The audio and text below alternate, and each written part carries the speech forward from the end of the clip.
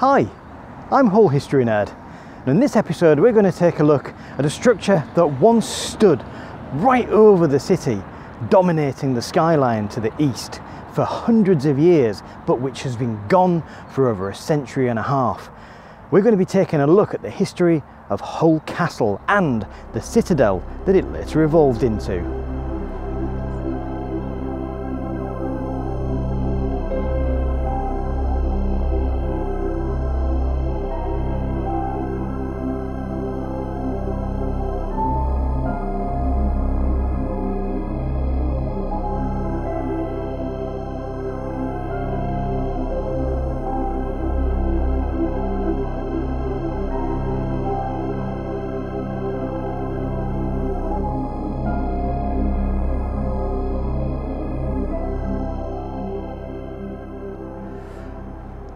The town of Hull in the early 16th century was a town that was going through some changes. The textile trade, which it had dominated for most of the 15th century, was starting to slacken off. And in its place was rising other trades, such as the trade in shipping lead that had been mined in England. There were ongoing legal disputes with the town. The town of Hull, for instance, had recently redrawn its borders, and there were some disagreement between the uh, priory at Haltemprice and the city of Hull as to where the boundary of Hull began and where the boundary of Haltemprice ended. All of this led to a rather epic punch up between a bunch of people from Hull and a bunch of monks down at the priory. Normally, such disputes would be mediated by senior church figures such as the abbot at Meaux, but these things were all about to change because the King of England, Henry VIII, you might have heard of him, was about to do something quite spectacular. Bad or good depends entirely upon your perspective. But needless to say, it would transform the shape of England forever. His queen, the Spanish Catherine of Aragon, was having a terrible time actually producing children she tragically only had one child that lived beyond infanthood, and that was Mary, a girl. And of course, as was the habit in those days, if it wasn't a boy, it wasn't an heir. Naturally, Queen Mary and later Queen Elizabeth I would change that attitude, but at the time, Henry was desperate for a male heir and so desperate apparently that he had an affair with one of his wife's maids, Mary Boleyn, and then started to woo her sister, Anne. And Anne apparently was having none of it unless she could marry him, which led, of course, to a bit of a problem. The Catholic Church wasn't keen on divorce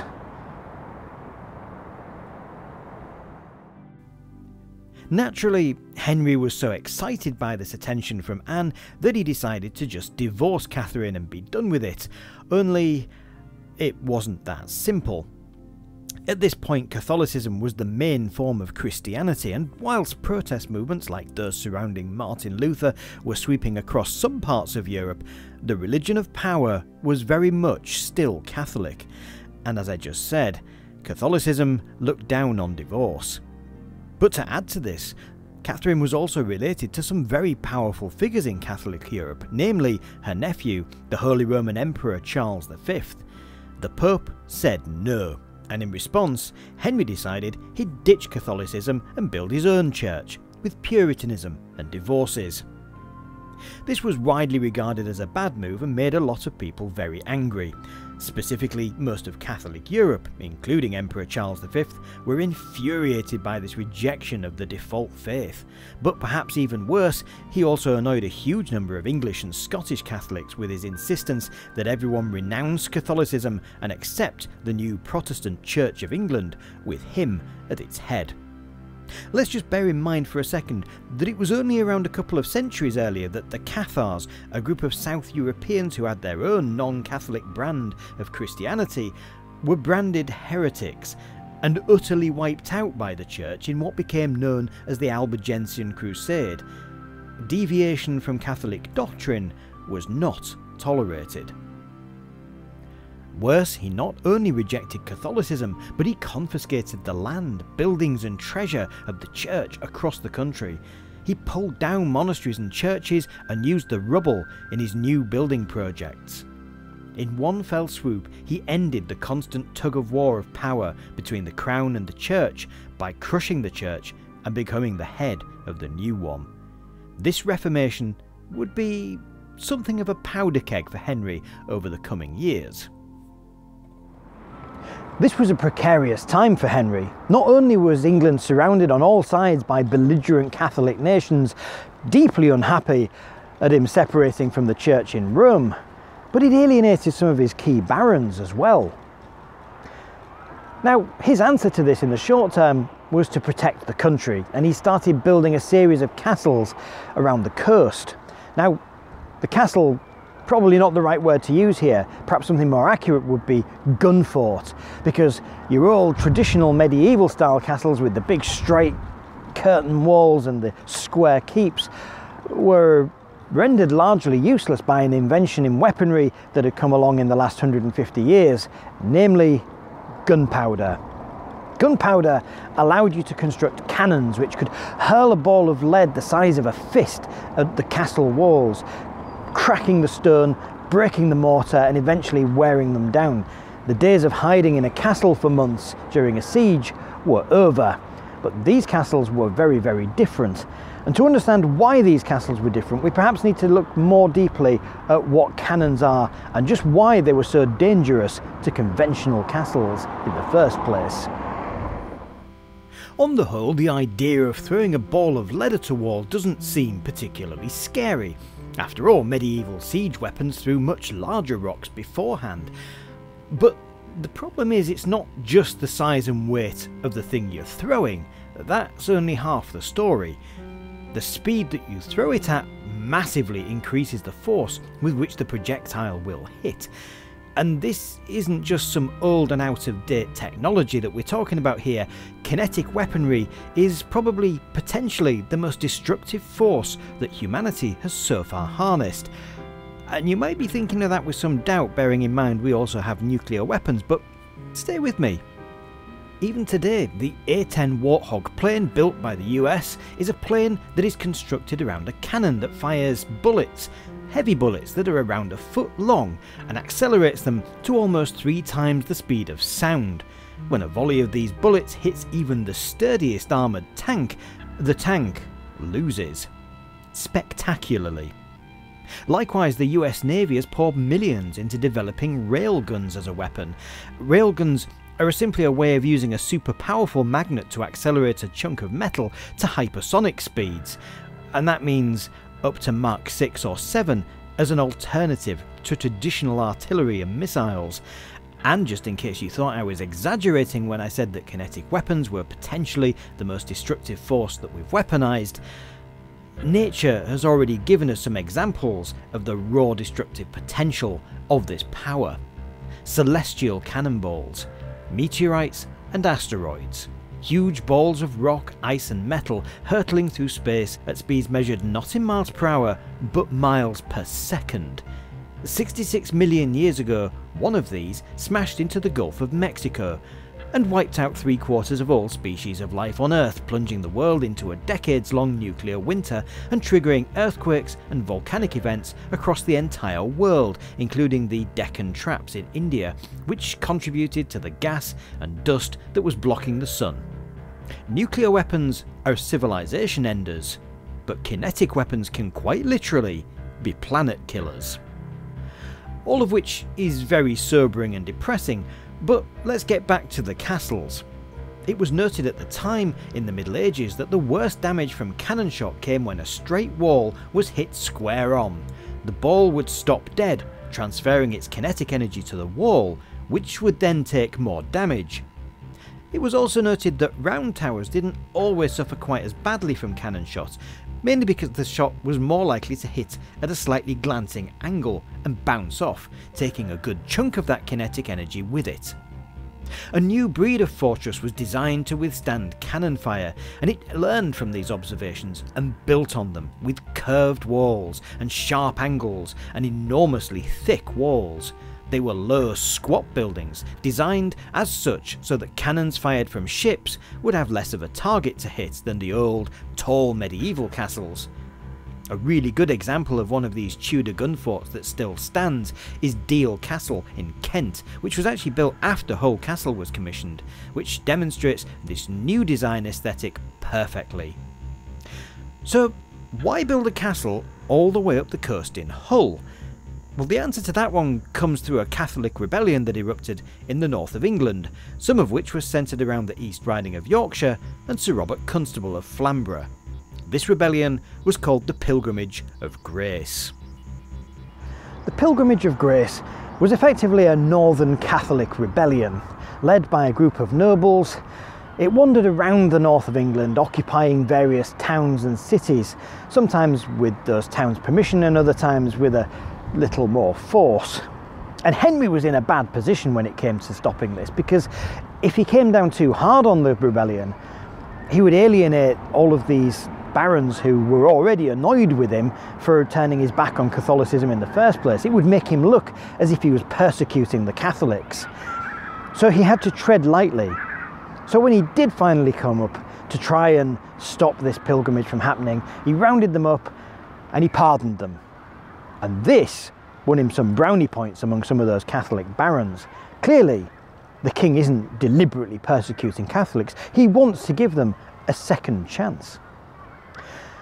Of course, the rebellion was undaunted. The Pilgrimage of Grace set off once again and carried on doing what it did. And again, Henry still didn't want to push his luck, so he got them together, wagged a stern finger at them, told them not to do it again, and pardoned them. Now, this second pardoning really won the fence sitters, the barons, over to his side. No king could possibly be expected to pardon people who were in open rebellion against the crown more than twice. So the next time the pilgrimage of grace reared its head, Henry stomped it flat, dragged the ringleaders to court, and had them hanged in chains over the gates of York and Hull. And this was a particularly horrific style of execution. They were basically locked in a small cage and then hoisted up above the castle gates or the town gates, where you would effectively die of dehydration or hunger, whichever came first, depending on whether people were taking pity on you and giving you water. And he did all this with the loyal support of all of his barons. His gamble paid off. When Henry came up to Hull in 1534 to have a look at the town that had been harbouring the rebellion, he was shocked at how poorly defended the port was. After all, the harbour of Hull was its entire purpose for existing, its raison d'etre, if you want to be all French about it. And it was, apart from the town walls which circled three sides, on the riverside of it, it had no defences at all apart from a small round tower built during the time of Edward III. This was not to be tolerated. He saw an opportunity to kill two birds with one stone here. One, to protect the town from invasion, and two, to remind the people of Hull of the long arm of the king. So he built this castle that spanned the entire east side of the River Hull as far as the city was concerned. The north blockhouse at one end, the south blockhouse at the other, a wall strung between them, and in the middle, a keep all of those buildings filled with cannons and gunpowder, the wall having spots along it where cannons could be placed, and a lobe of each of the blockhouses and the tower itself pointing back at the city of Hull. A stark reminder that at any time the king could order the city to be levelled with cannon fire. So just to put some perspective on this and to give you some context as to where the castle would have been in the real world as we live in it today, the North Blockhouse would actually have been right behind me here at this junction between Great Union Street and Witham, just near North Bridge. In fact, that is another thing that Henry VIII and his castle changed in the landscape of Hull because before he built the castle there was no such thing as a bridge over the river at the city. In fact, there was a North Ferry but North Bridge was the very first bridge here, and I did a whole episode on that, which I'll link up in the corner here or down in the description below so that you can check out the history of that if you want to. Now, this would have been quite a spectacularly big building. It would have filled this entire junction side to side and overlapped onto the buildings that you see across the road behind me. And the North Blockhouse, sadly, proved to be the poor relation of the three big buildings of the castle. Because it was so far up the river, I guess, it was seen as being not as vital as the other two for the defence of the city. In fact, it was only a few decades after its construction that the threat of invasion from the continent started to subside, and instead, the North Blockhouse was being used as a prison for unrepentant Catholics. This period of Henry's distrust soon passed, and within a few years the garrison was being crewed by locals. As we've just seen, the North Blockhouse stood where the end of Great Union Street is today, and the wall that connected it to the rest of the castle ran along exactly the same route as Great Union Street, right up to the junction with Clarence Street today and then it headed southeast towards the central keep, which would have been located somewhere along Tower Road, though a little further to the east than the modern street. The south blockhouse, the very end point of the castle itself, stood close to where the deep is now, which back then would actually have been on the point where the Hull and the Humber meet. There's been a lot of land reclamation during the frenzy of dock building in the 19th century in that area, so there has been more land added, hence why it's not quite on the shore anymore. But in the end, Britain didn't get invaded by the French, the Spanish, or the Holy Roman Empire, and so the fear that had sparked the construction of the castle diminished somewhat. Garrisons were reduced, the North Blockhouse was used to house religious prisoners, and occasionally there were flurries of activity when tensions flared up with Spain, but the first century of the castle's life were fairly uneventful. The castle became simply a place where huge amounts of munitions were stored for the crown, a magazine, and it became one of the largest magazines in the north of England. Fast forward a little, and in the 1640s, tensions were growing between King Charles I, that's the king who looked like a spaniel, and Parliament, mainly because he attempted to kidnap five MPs, and Sir Charles fled north and started touring the country to secure these magazines for his use. It was on a fateful day in 1642 that he visited Hull on such a mission. The parliamentarians of Hull were ready for him, and Sir John Hotham, himself actually a royalist but very firmly outnumbered by the parliamentarians, had the unenviable task of standing atop the Beverley Gate and telling his king that he couldn't come in. Charles didn't take this well, and after going away to a local farmhouse to have some tea, laid brief siege to Hull this ended poorly for him. Hull's ditches surrounding the town walls had sluice gates at both ends, and they were both opened, flooding the land around and turning Hull into an unassailable island. Because of this magazine, Hull Castle was one of the flashpoints for the English Civil War, which, in case you hadn't gathered already, wasn't particularly civil at all. When the restoration of the monarchy happened in the 1660s, King Charles II went and took stock of all of the fortifications throughout the country with particular interest to the powder magazines. And when it came to Hull, well, it wasn't looking good after the Civil War. The South Blockhouse was in poor repair, the moat around it had started to silt up. The keep wasn't much better, and the North Blockhouse was in a largely ruined condition we still had guns, but it was largely in a ruined condition. The decision was made by Charles to consolidate the South Blockhouse and the Keep and enclose them as part of a larger citadel, a walled triangular shaped fortress that would make use of the gun battery, the, the prodigiously powerful gun battery of the South Blockhouse by having it protrude through the walls and be part of the main defences.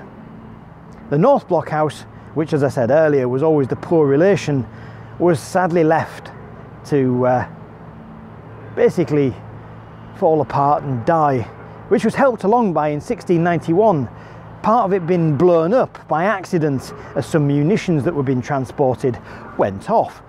The damage was repaired, but it really wasn't used very much, and by 1801 it was sold and demolished. Which left the citadel, which its top corner would have been around here where the castle was, the keep. And it must have been quite the sight with the angled walls just sweeping across and all the way down with a big moat dug around the whole thing. The citadel served for many, many years as a magazine and an armoury. The keep itself was turned into an armoury, and the South Blockhouse just did what it always did worked as a powder magazine and a cannon battery. But as time rolled on, newer and better forts were actually built. And whilst the whole thing did have a, a, massive renovation at the time of the Napoleonic Wars, and particularly in the early 1800s, it couldn't hide the fact that this was very long in the tooth at that point. And newer forts that were built in the 1860s, such as the one at Paull, just a little bit further down the Humber coast, started to take over the duties that the citadel had once maintained defence of the Humber. And it suffered the indignity during the 1850s of being dug around in the construction of Victoria Dock, leaving it isolated on a kind of spur of land right at the meeting of the Hull and the Humber. And it wasn't long after the construction that it was sold, finally closed off, no longer part of the Crown possessions, no longer part of Britain's defences, just a decaying, crumbling ruin that was standing in the way of some good dock warehouses. The whole thing was demolished in the 1860s so I suppose the big question you're probably asking is, is there anything left? Anything that you can look at and definitely say this was part of the citadel? And the answer is, uh, not really, not much. I mean, there's the fossilised shape of Great Union Street, which, as I said earlier, followed the line of the curtain wall from the North Blockhouse. And then there's a reconstructed part of the corner of the citadel on the Victoria Dock housing estate, where they've mounted the last surviving piece of its architecture, the little turret on the top of it. That turret spent many, many years living in East Park in the rocks, where it was used as a, an unofficial urinal by generations of small boys. Yeah, it's in a better place now, trust me. But every so often you kind of see things that echo it, and every so often there's things where architects have paid homage to it. Like here, for instance, the base of this industrial unit here the wall is actually modelled on the shape of the citadel's walls. And it, it wasn't until I was actually filming down here that I actually noticed that and was like, oh yeah. And it's nice when you see that kind of love of the history kind of, because you, you know, the architects didn't have to do that. They could have just built a nice plain unit like this. But that, I think, is a lovely memorial to what used to stand just a little bit further back on this very spot. Now, on the surface, there's nothing to see, but under the ground, most of the foundations still remain. And I was lucky enough to be filming this whilst an archaeological dig was happening on the South Blockhouse, a very big archaeological dig. And I went down to have a word with some of the archaeologists and take a poke around.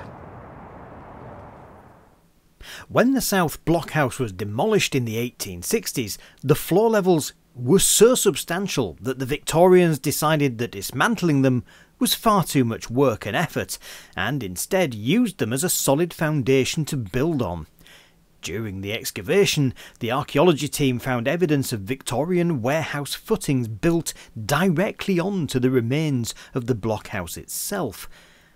The section of the building that's been excavated can be seen here and contains part of two of the large petal-shaped lobes, and the gatehouse at the rear that would, originally, have been next to the curtain wall. Here they found many things that tell us of life on the dockside with things like clay pipes, and life in the citadel, finds that even included a cannonball. I had a chat to Peter Connolly, the archaeologist in charge of the dig, to find out more.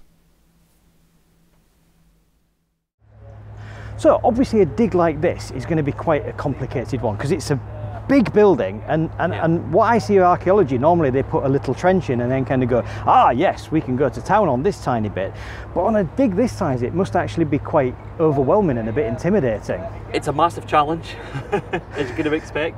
The, the trench is about 50% the size of the building itself. So you come to really realise how big the South Block House was. It's huge.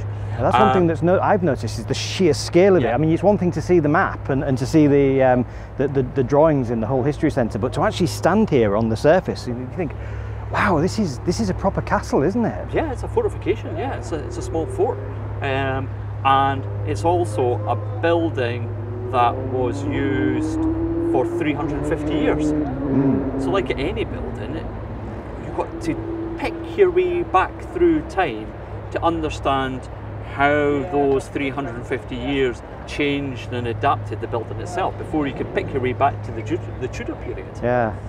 So, I mean, I- you you were telling me just a few minutes ago, this floor that we're standing on was actually put in at the start of the 19th century. So it's, this is a Georgian floor. Yeah, it is. You know, that's as far as we understand it at the moment. So, at the beginning of the 19th century, there's been adaptations and changes around the citadel across the, the you know the first hundred and plus years of the citadel itself, um, and this south block basically gets turned to an armory store, so like a naval store. Right. So what we think that is going on is that throughout its life, they've had to deal with water. We're not far from the estuary, we're not far from the river. There's also a big moat around it as well. Yeah. Water has always been a problem. We live in Hull. Water's Yeah. the problem. Flooding um, and water ingress is a problem. So if you think of it as a naval armory store and you've got armories in here and you've got powder in here, you want to keep your powder dry. That's a very good point. Yeah. Yeah. So if you're, we know that there's big drains cutting through the building. They're always trying to make sure that anything water that's coming up is flowing away. Hmm. So they bring up the floor. They basically To raise, build over the water. yeah, raise the floor by a good 70 centimeters, Okay. and then they re-floor it. We think what they do is also take out the first floor and roof over or re-roof the roof of the building as well. Of course, because of course, if you bring up the floor, the ceiling's going to be you'd be, Yeah, you'd be walking yeah, around yeah, it like that, wouldn't you? Yeah, yeah, exactly, exactly. So, it was a major means- renovation then. It's a major renovation, yeah. Wow. And of course, what they do is waste not, want not. Make sure that you use as many Tudor bricks or um, later bricks as you can get your hands on. So when you look at this floor surface, you think it's quite good, but actually, when you start to look at it, every brick has been reused. It's all slightly chipped and broken. Oh, and it's Um, all slightly higgledy-piggledy. There's like rows of, of the same size brick, but then there's another row of a different size brick, isn't there? yeah. Yeah, it's like a big kind of jigsaw puzzle where you've just kind of taken some scissors and cut the bits off and then just jammed it all together anyway. you've hit the nail on the head. Basically, the process of doing archaeology in a building is like this. It's a bit like taking a jigsaw, and but when you do a jigsaw, you follow the cover. Yeah, It gives you, it lets you know what you're building. So take the cover, throw it away, so you have no idea what the picture is going to be. yeah. Take a handful of those jigsaw pieces and throw them away because you're never going to have all the pieces.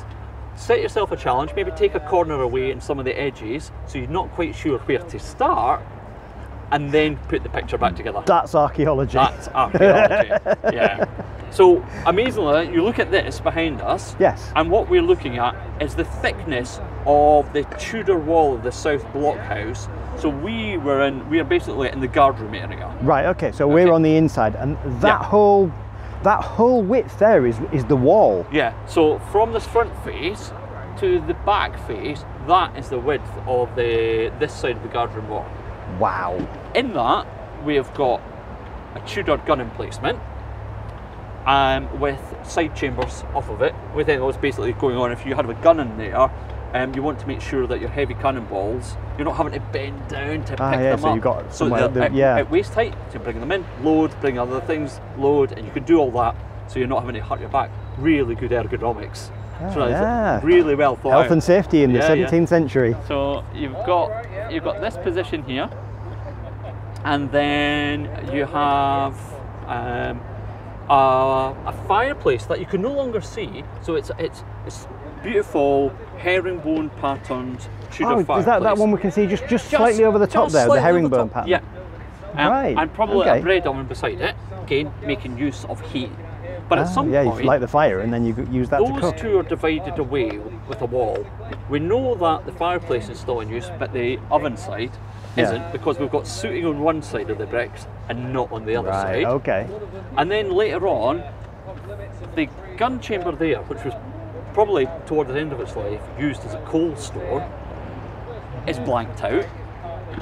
The oven space is blanked out, and the fireplace is blanked out entirely. So that that that is that what I can see here then, where Yeah. you've got these different bricks Yeah. kind of gumming up those little. Yeah, yeah. bricks Right. and reused stone. So within that bit of wall, we've got one, two, three different phases of build.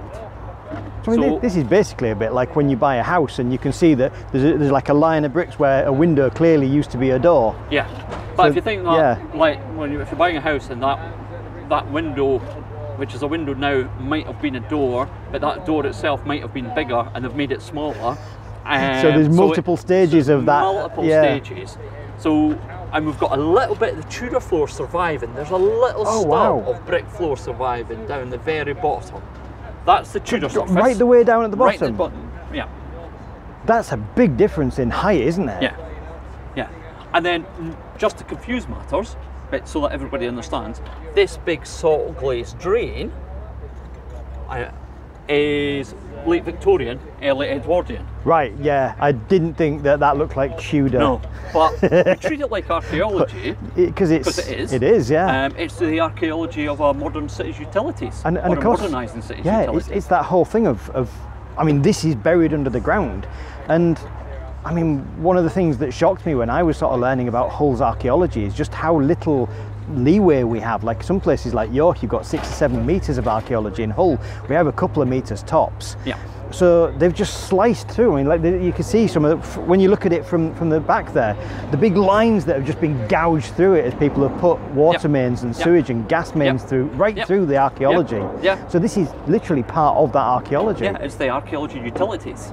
Well, how we get to being a modern city. Yeah. You know, that like um, the putting in of drains and fresh water, all of that work that comes after Basil Bazalgette and his um, drains of London and his sewers of London. You know, it happens here as well. So Yeah. they cut. So the big scar that cuts right through the middle is late 19th, early 20th century. So these Right. people are just like have just driven a huge drain right through this part here. Because I mean, of course, at this time, oh, this is just underground. This is nothing more than just a building that got knocked down that nobody cares about Yeah. anymore. Yeah, so like in the 1860s, by the mid 1860s, it's gone entirely. Yeah. It just um, miraculously, and you know, thank the heavens for us, they've dropped it to ground floor level and then just filled in over it. And so then- thankfully, they've not grubbed out the ground floor. Yeah. They've just dropped it to ground So, floor. which is lovely because we actually have we can walk around on this Yeah. floor, which is the the, nine, the early 19th century floor, Yeah. as you say, this lovely higgledy piggledy uh, brick mosaic. And I it- know it- what we it's incredible. It gives you an 19th idea of the shape and the size of it as Yeah. well. We say early 19th century just like it was yesterday, but this is still 200 years old. Absolutely. You know, nearly 210, Yeah. 220 years old. That's so incredible, isn't That's it? That's incredible. And then we can look at it, you know, we could be looking at things that have happened in the 18th century, and then we're looking back at the original build, which dates back to the 1540s.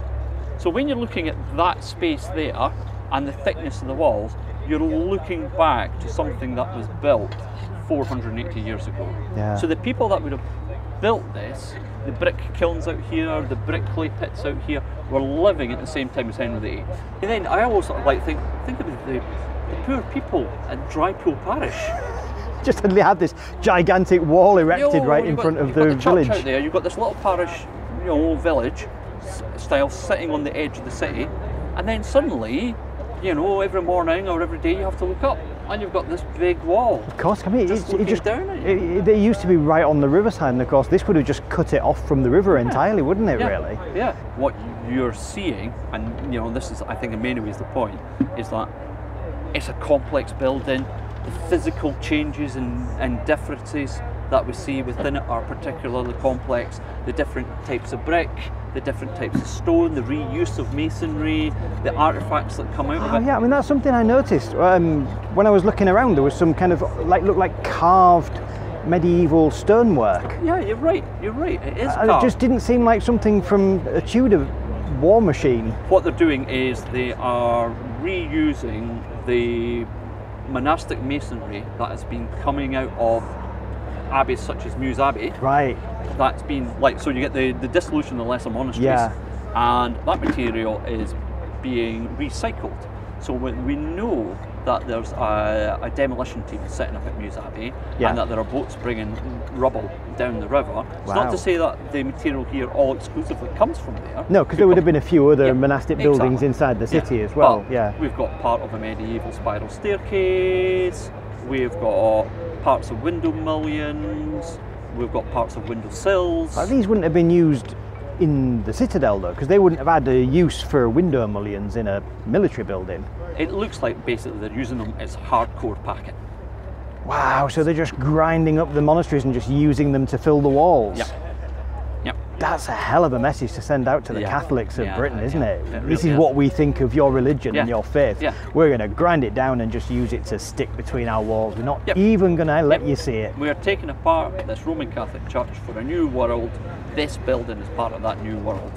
Uh, and so heavy that statement. is that statement in stone, Yeah. in destruction. Literally. So, but that's, that's what you get from the, doing the archaeology, because obviously we can tell the story through the brilliant historic documentation. Yeah.